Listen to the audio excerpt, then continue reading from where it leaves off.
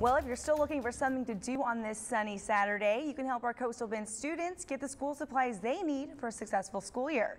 The city, along with the Fire Department, Firefighters Association, and the Boys and Girls Club are hosting a Prep for Success school supplies drive.